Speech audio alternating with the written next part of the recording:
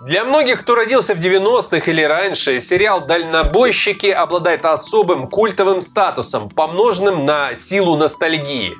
Но если брать в общем, это особая субкультура людей, которые большую часть своего времени проводят за рулем автомобиля, как-то слабо освещается в современной поп-культуре. Да и в советские времена фильмов про дальнобойщиков я что-то не припомню. Сейчас же мало детей в школах мечтают о том, чтобы стать дальнобойщиками. Тем не менее, во времена СССР они были особой кастой, особенно те, кто ездил за рубеж. Понятное дело, что тогда больше мечтали стать космонавтами или врачами, но если ты дальнобойщик, особенно международник, это всегда вызывало особое почтение и уважение. Все тайны и секреты советских дальнобойщиков эксклюзивно сегодня и только для тебя на канале History Show. Меня все еще зовут Семен. Начинаем.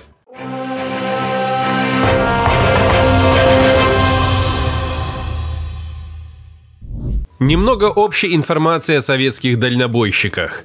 Работа дальнобойщиком на внутрисоветском пространстве, а точнее требования к ней, не отличались особенным, так сказать, изыском. У тебя должен был быть водительский опыт не менее трех лет, отсутствие вредных привычек или хотя бы умение на определенный промежуток времени, так сказать, забыть о них. И, конечно же, исполнительность и пунктуальность.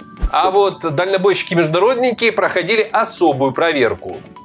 Международными рейсами в СССР занималась компания, а точнее предприятие Софттрансавто, которое, кроме того, что было монополистом на международные перевозки в Союзе, так оно еще находилось под полным контролем КГБ. Это и неудивительно. Нужно было убедиться, что кандидат, как только окажется в, так сказать, вражеской капиталистической стране, не свалит куда подальше. Поэтому шоферу, который хотел устроиться в Софттрансавто, нужно было пройти не только жесткие критерии отбора, но еще доказать свою благонадежность и верность советским идеалам и прочему из этой оперы. Помимо этого, кандидат должен был обязательно иметь жену, жену и парочку детишек, ну хотя бы одного. На первый взгляд требование немного странное, но если копнуть глубже, все становится понятно. Женатый человек, семейный человек гораздо маловероятнее решит не возвращаться в СССР, а остаться за рубежом. Известно, что немало таких вот подобных беглецов, далеко не только дальнобойщиков, возвращали домой именно давя на их семейные чувства. Если водитель показывал себя благонадежным, а после проверки КГБ у него не оказывалось никаких, так сказать, ненадежных родственников типа заключенных или диссидентов, капец, конечно, контроль тогда был, то тогда его допускали к своего рода экзаменам. Помимо того, что он должен был обладать не менее чем пятилетним рабочим стажем, потенциальный дальнобойщик-международник должен был владеть английским на разговорном уровне, шарить в транспортном законодательстве других стран, ну и, конечно, иметь хорошие рекомендации с предыдущего места работы. Короче, такой шофер должен был быть чуть ли не каким-то сверхчеловеком, чтобы иметь возможность ехать за рубеж для работы. А потом еще некоторые люди обижаются, почему это СССР называют тюрьмой народов. После длительной стажировки, которая длилась не менее года, дальнобойщика наконец опускали за руль, но пока что только на внутренние рейсы. Потом на рейсы в ближние зарубежья, так называемые страны соцлагеря. И только потом, наконец-то, советский дальномойщик мог попасть на рейсы в дальние зарубежья, или же просто капиталистические страны. Серьезно, такое ощущение, что в Советском Союзе было проще стать космонавтом или сотрудником КГБ, чем советским дальнобойщиком. Зато потом он становился самой настоящей рабочей элитой, с которой все обычные граждане хотели завести знакомство, а многие завидовали тому уровню жизни, который могла обеспечить такая работа. Впрочем, все дальнобойщики в СССР заколачивали хорошие деньги, но об этом немного позже. Как выглядели советские дальнобойщики? Ну, советские дальнобойщики это вам не наложницы султана какие-то. Требования к внешности тут были минимальными. Тут только бы глаза были, чтобы видеть, ужас, чтобы слышать, рот, чтобы говорить. Все остальное уже дело, как говорится, индивидуальное. К прическе, правда, требования были пожестче. Никаких неформальных причесок, особенно если ты дальнобойщик-международник. Сделал ирокез, сразу же вылетел с работы. То же самое касалось пирсинга или еще чего подобного. Татуировки тоже не приветствовались. Особенно если ты ездишь с рейсами, опять же, за рубеж. В общем, у тебя должна была быть, так сказать, стандартная внешность, без всяких там перегибов в разную сторону. Во что одевались советские дальнобойщики? В общем, тут тоже та же схема. Обычная одежда, да, на свой вкус, но все же обычная. Как у всех, так сказать. Как у людей, без ярких цветов, по крайней мере, каких-то кричащих, как у какого-то попугая или же у радуги. Понятное дело, одежда должна была быть хотя бы минимально чистой и опрятной. Но это если дело касалось дальнобойщиков, которые ездили на внутренних рейсах. Если же дело касалось шофера Софтрансавто, там требования были гораздо жестче. Каждый дальнобойщик-международник должен был быть одетым только с иголочки, в идеально выглаженную одежду, на которой не должно было быть ни пятнышка, ни вообще никакого следа неряшливости. Как я уже говорил, водитель Софтрансавто должен был быть по ходу каким-то суперменом, не только в плане навыков и даже родословной, но еще постоянно обладать отменным внешним видом. Но ведь верно, представляет такое огромное государство, целую сверхдержаву с ядерным потенциалом, а иначе-то никак. Где жили советские дальнобойщики? Не, ну понятное дело, что во время свободной от работы они жили дома, но где же они жили, когда были в рейсе? Ну, тут, в принципе, все было как и сейчас. По всем крупным дорогам СССР были сделаны специальные стоянки для фуршоферов, где они могли остановиться, сходить в магазин недалеко, скупиться, пообщаться с другими водителями, поесть, иногда даже искупаться. Спали они в основном в машинах или же искали какую-нибудь гостиницу поблизости. Что ели и пили дальнобойщики? Ели они то же, что и остальные люди. Правда, это сейчас в современных фурах есть и холодильник, и даже простая кофемашина, а иногда еще что покруче. А вот раньше со всем этим было проще, особенно на советском автопроме. В качестве еды выступали такие продукты, как консервы, какая-то медленно портящаяся колбаса, хлеб, какие-то овощи и фрукты на пару дней, фляга воды. В общем, все то, что либо может храниться долгое время, либо то, что в ближайшие несколько дней просто-напросто съешь.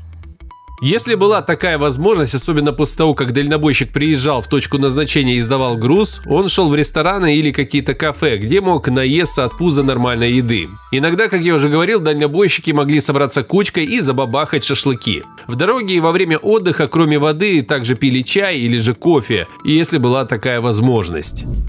Какой алкоголь пили советские дальнобойщики?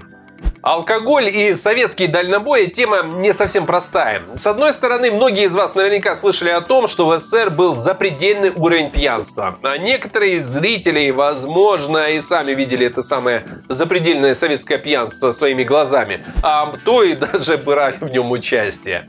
Поэтому логично предположить, что советские дальнобои, как говорится, могли и умели приложить заворотник. С другой стороны, сами водители утверждают, что да, могли выпить алкоголь, в основном водку, но все же делали это редко, пили немного, да и немного шоферов пило во время рейса. А если и пили, то обязательно отсыпались, за руль никто пьяным не садился. Верите им или нет, это уже ваше дело. Я же думаю, что все-таки дураков туда не брали, а если и брали, то надолго они там не задерживались. Поэтому и пьяниц либо вышвыривали с работы, либо же они сами оттуда вышвыривались через лобовое стекло, так так сказать. Гигиена советских дальнобойщиков. Наверное, один из главных вопросов о бытии дальнобойщиков, так это где они моются, да и как вообще соблюдать личную гигиену. Это сейчас, конечно, есть куча всяких там придорожных материй с душем или же простых бензозаправок, на которых можно искупаться, так сказать, смыть с тела и души усталость. Но это сейчас, 21 век, все дела, высокий уровень жизни и прочее. Но как же выкручивались советские дальнобои, которые работали в условиях несоизмеримо хуже, чем их, так сказать, потомки? Как мылись и ходили в туалет советские дальнобойщики? Ну, тогда все было сурово. Чтобы помыться, дальнобойщики часто прибегали к крайним мерам и просто-напросто купались в речках, прудах, озерах, которые встречались по пути. Да уж, звучит экстремально, но все же, когда несколько дней в пути и давно не мылся, то даже такой вариант годится. Ну, за рабочий вариант – помыться. Конечно же, если у дальнобоев были варианты помыться в гостинице, то они, естественно, им пользовались. Но такие варианты были редко. Или же могли помочь помыться друг другу, как это показано на фото. Туалетом же все проще. Стал на обочине и пошел в какие-то кусты. Тут даже и думать ничего не надо. Все и так понятно. Как советские дальнобойщики чистили зубы? Ну, тут, как говорится, все очевидно. Брали в качестве емкости для воды бутылку 2 литра, зубную пасту и щетку. Вышли из машины, стали рядом на обочине и почистили зубки, чтобы они были здоровые и изо рта не воняло. Или же, если была возможность, чистили зубы в гостиницах. Тут уж как повезет. Как советские дальнобойщики заботились об одежде. Тут речь больше не о том, чтобы одежда не обветшала, а чтобы она элементарно не воняла. Ну, тут дальнобои брали с собой сменный комплект одежды или несколько, в зависимости от длительности поездки. А при необходимости стирали все в той же речке, в которой купались или в тазике. Да уж, действительно, суровый быт советских дальнобоев. С кем спали дальнобойщики? Ну, анекдоты о ночных бабочках на дорогах и дальнобойщиках, наверное, слышали все. Кто-то реально, так сказать, пользовался их услугами, кто-то же брезговал, боясь или заболеваний, или того, что они напоят их клофелином и потом украдут с кабины все, что можно украсть. Кто-то же просто был верен жене и детям. Короче, тут, как говорится, все индивидуально. Как советские дальнобойщики заботились о здоровье?